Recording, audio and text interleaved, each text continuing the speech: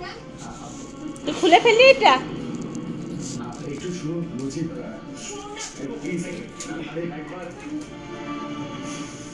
আহা, কি মুশকিল শোনো না শোনো না আরে কি আশ্চর্য যেখানে নিয়ে যাব সেখানে একটা- আ, আ, শোনো না। দেখো অবস্থা দেখো।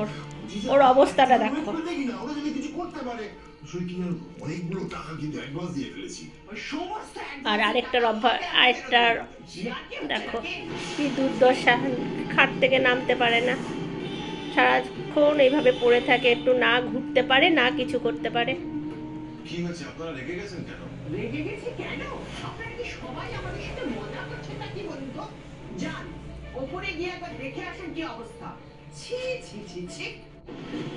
সর্ষের মধ্যে যে ভূত আছে, এটা তো আমরা সবাই জানি, কিন্তু কিন্তু বর্ষে এখন এসব ব্যাপারে আলোচনা করার সময় নেই।